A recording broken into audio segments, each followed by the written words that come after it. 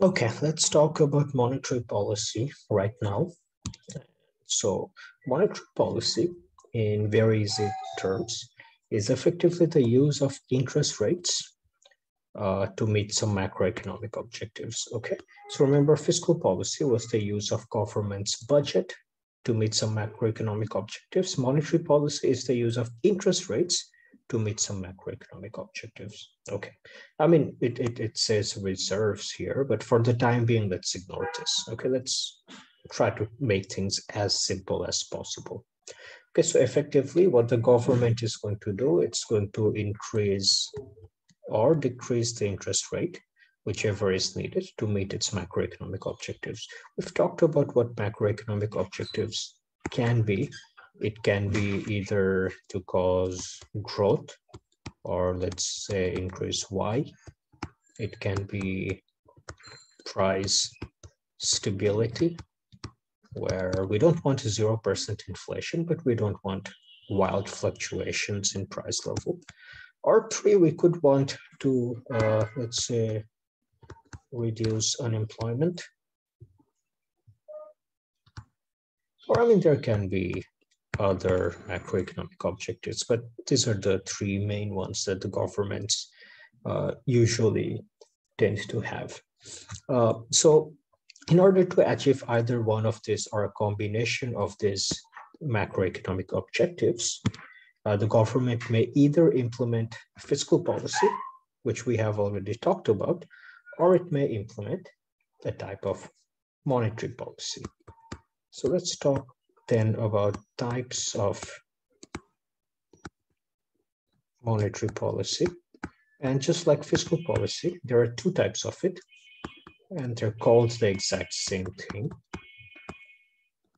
One is the expansionary monetary policy. The other is the contractionary monetary policy. Okay, and we are going to get into, into details in each of them, but in very simple terms, and to help you guys remember, Expansionary monetary policy is when the interest rate is lowered and contractionary monetary policy is when the interest rate is increased. Okay, but let's look at how that's actually done and what effect that has on the economy. Okay, so what I'm going to do for the rest of this video is I'm going to talk about expansionary monetary policy, uh, work through a case study with you guys, and once I've done that, once you guys understand the mechanisms, the transmission mechanisms of an expansionary monetary policy, you guys can figure out on your own how a contractionary monetary policy works. It's effectively the opposite of what I will be talking about. So let's talk about expansionary monetary policy. And so the situation that the economy finds itself in is that we have real GDP here. Uh, we have price level here. Uh, so AD, uh, short run aggregate supply, and long run aggregate supply. And so this is our equilibrium P naught and let's say this is y naught. The interesting thing is that we are operating beneath our potential. So y star, which is our potential, is more than our uh, output right now. Okay, so we could be producing y star, but we are producing y naught. And so the government has decided that they are going to use expansionary monetary policy to increase our output from Y naught to Y star. Okay, how will they do that? Uh, step one,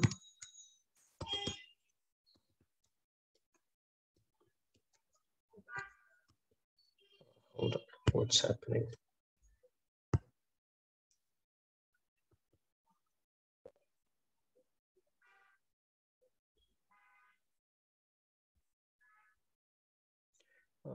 Just give me a minute, guys. Uh, just having some technical difficulties here. Uh,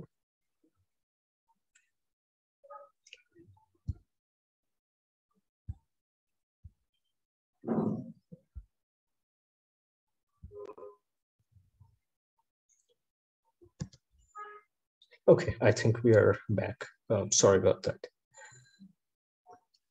Okay, so what the government has decided, as I was saying, is that they are going to use an expansionary monetary policy to increase output from Y naught. Okay, so what's the first step? First step is increase money supply. Now here's the important thing to remember, okay? The government or the central bank cannot do this directly. Okay, I mean, there are multiple steps involved. Uh, there are things called interbank repo rate. There are things called open market operations. There are a few other things, a few more steps before one that the government have to undertake in order to increase money supply. Okay, so this is important. The government or the central bank can't actually do this directly, but because I'm trying to keep things simple, uh, let's just assume for the time being that if the government wants to increase money supply in the economy, they can. Okay, I mean, if you think about it, uh, it's not possible, right? The government isn't going to go around the country knocking on random doors and giving people money. That's just not how it works. So there are different mechanisms in play, but we don't need to talk about that right now. Let's just assume the government can, if they want to, increase or decrease money supply. When money supply increases, let's take a look at the money market. So we have the stock of money here. We have interest rate here.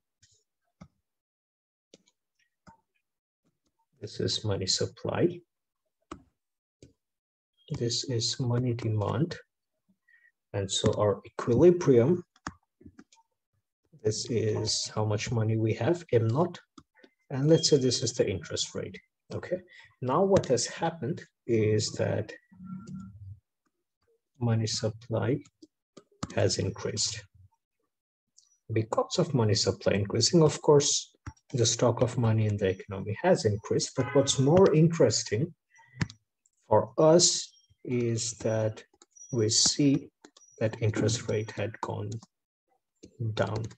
Okay, so of course, I mean, that's what we would want to happen because we are implementing an expansionary monetary policy. And for expansionary monetary policy, we want interest rate to go down. So that has been achieved. Okay. So first step, increase money supply, which is going to mean interest rate uh, will fall. That is done. Okay. Now let's come to step two. Step two uh, would be, well, actually, I mean, the government only does one thing. Uh, they've just increased the money supply. Uh, so this is the money market.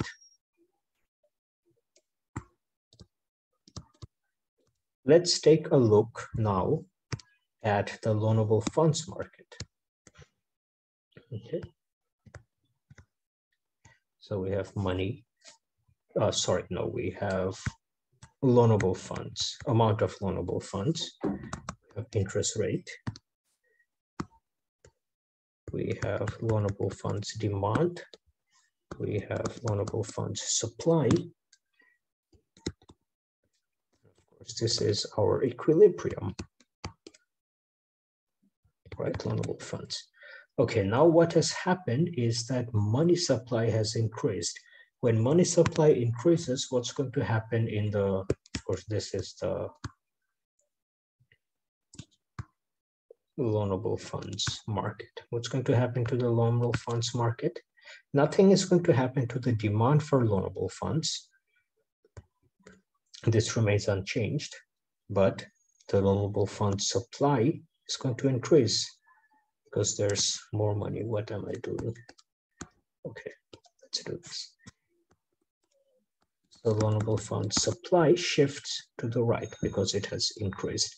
As a result, of course, we already knew the first thing, which is that interest rate will fall. But also interestingly, the loanable funds that's available has increased. Okay, so that's the second thing that's going to happen.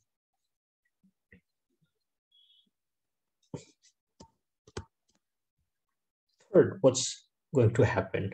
Because interest rate has fallen, what is going to happen to consumption, to investment, uh, or actually let me write down the equation in case you guys don't remember. y equals to c plus i plus g plus nx. Hopefully you all remember this equation.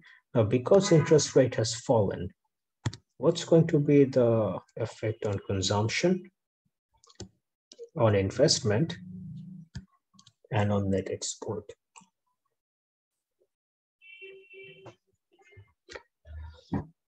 If interest rate is falling, what will you do? Will you save more or will you consume more? You will probably consume more, right?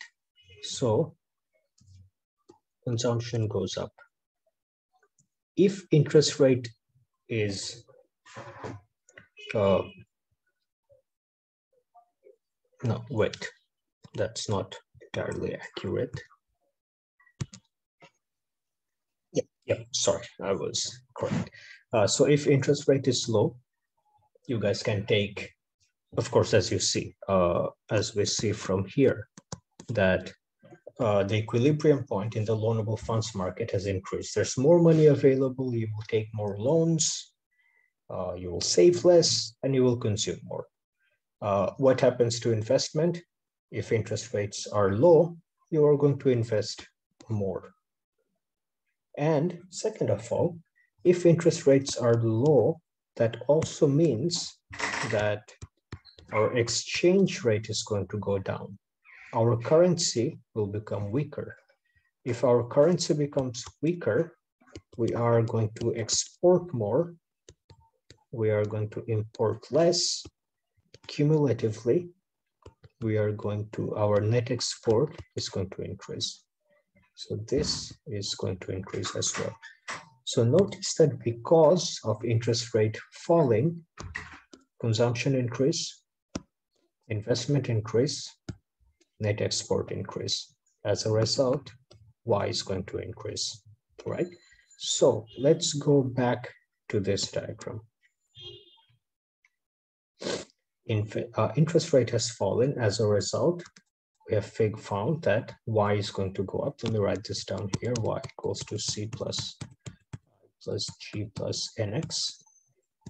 Y is going to go up, which means demand is going to go up. Effectively, well, that's not nice.